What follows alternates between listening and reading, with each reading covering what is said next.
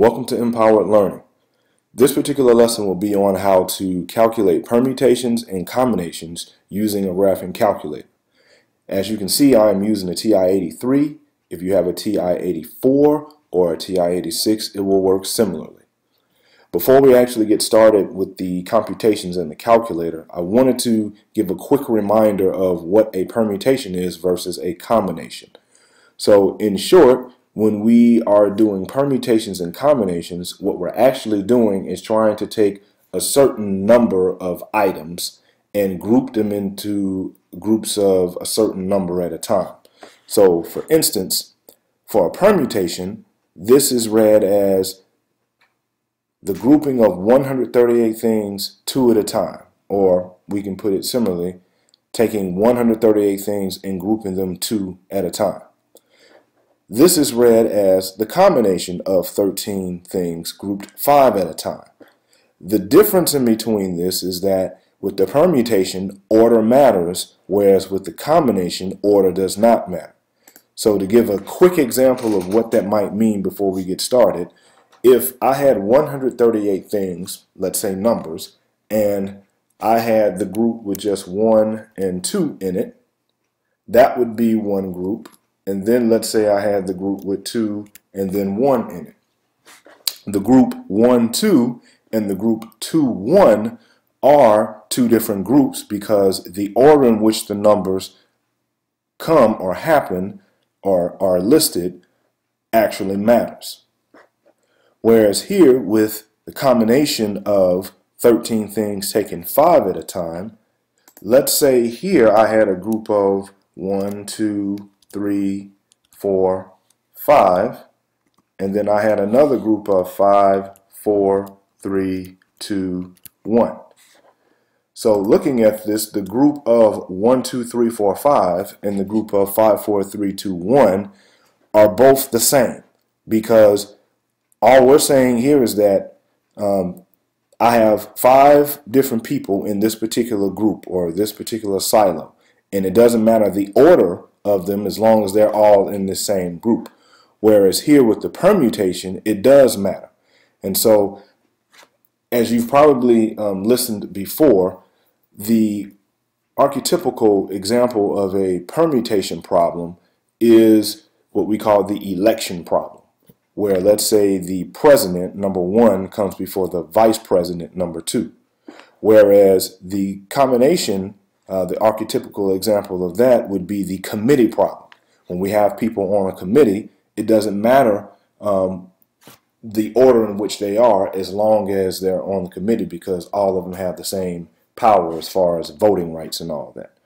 So in short, that is a brief primer on what a permutation and what a combination is. So now let's get into the actual computation of this. So let's say we want to evaluate um, the permutation of 138 things taken two at a time.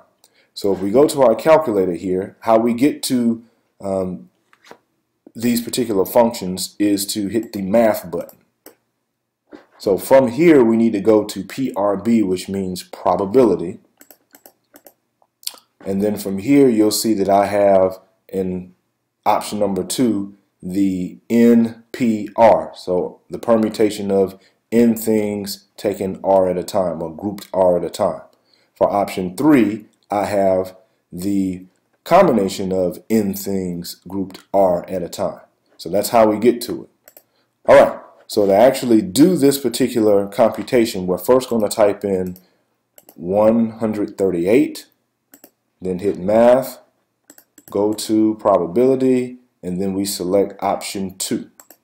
And then after that, we type in 2. And then after that, that gives us our answer. So if we had 138 things and we grouped them two at a time where order matters, you'll see that we would have 18,906 different groups. Right, let's move on to the next one.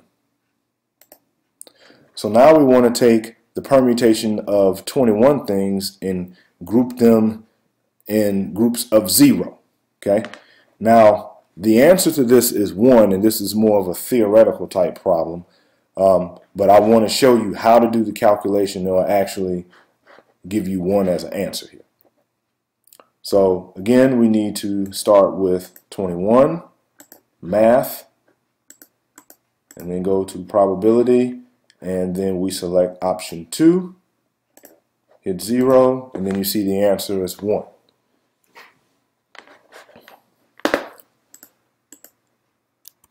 For the next example, we're now dealing with a combination. And notice that the combination can be written in uh, the C with the numbers on the side notation, or it can be written in this other uh, matrix type looking notation as well. And so permutations are not written this way. So whenever you see something written like this, you always translate it to be combination of 13 things grouped five at a time. Whereas with the permutations, they are always written with the uh, P in it.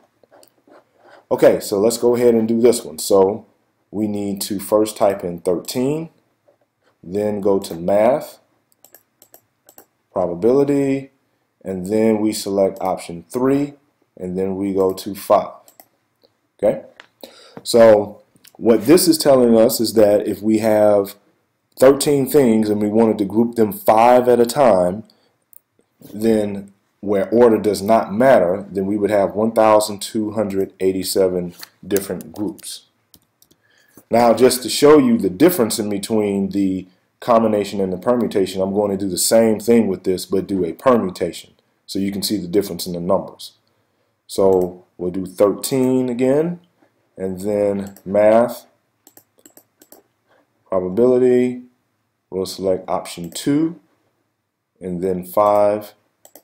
And you see that we have way more, um, we have a bigger number of groups there. Okay, so this is 154,440 groups. And the reason for that is because order matters with all this. Whereas if order does not matter, there's a lot of groups that are being duplicated. Okay.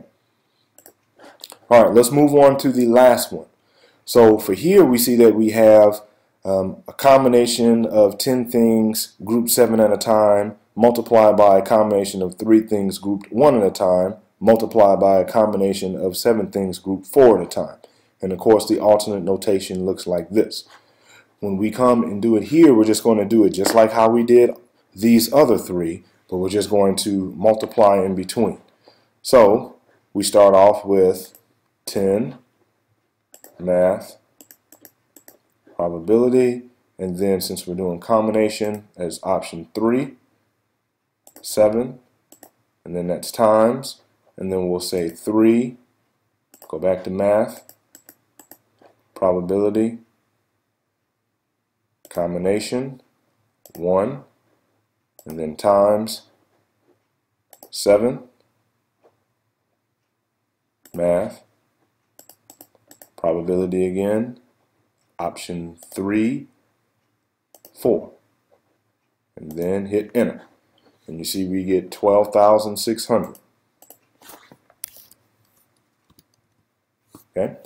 And so this concludes the lesson on how to evaluate permutations and combinations using a graphing calculator